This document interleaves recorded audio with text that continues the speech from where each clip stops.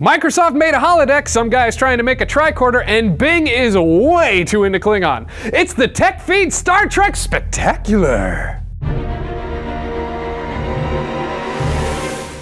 Jealous of all the cool tech in Star Trek? Well, now you don't have to be, because some of it may be available to you in the near future. Remember the holodeck from Star Trek The Next Generation? It was the room that let the crew travel anywhere and experience anything without leaving the Enterprise. It's also where Picard killed a couple of Borg in a 1920s nightclub with a Tommy gun.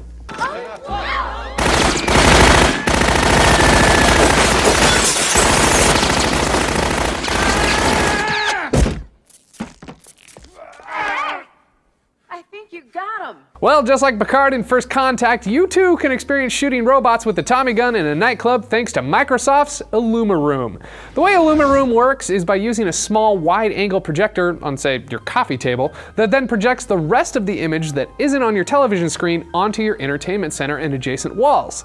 The result is a dizzying full frontal assault on your senses that puts you right into the action, especially when IllumiRoom does things like warp your surroundings or pours a game out of the television and onto your floor, or does everything all at once. And while that's a huge pro for gamers wanting full immersion, it does need Kinect to make it happen, so, you know, there's that con. What say you, Captain Kirk, pro or con? Con! Ham-fisted Star Trek references aside, Qualcomm and the X Prize Foundation have offered $10 million to anyone who can develop a real-life tricorder. For reference, the tricorder is a handheld medical device capable of diagnosing what's wrong with a patient in seconds. The tricorder Qualcomm is looking to find would be similar to a smartphone and able to record things like blood pressure, pulse, and temperature.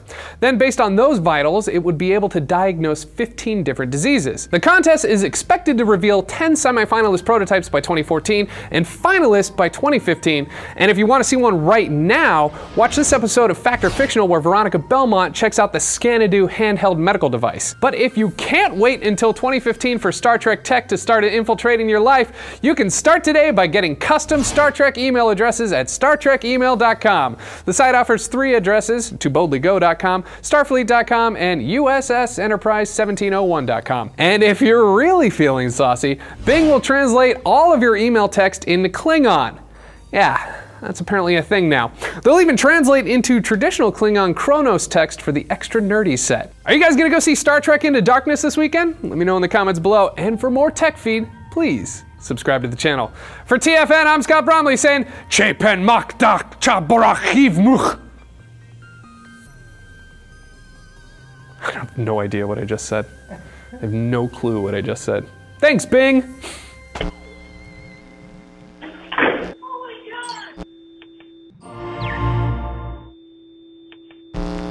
Is it a couple of Borg? I don't know. Hey, Frank. Speed. Frank, we're doing some Borg investigational. Uh, hey, Frank, can you journalism. help us with something? What is the plural of Borg? Is it Borgs? Or is it many Borg?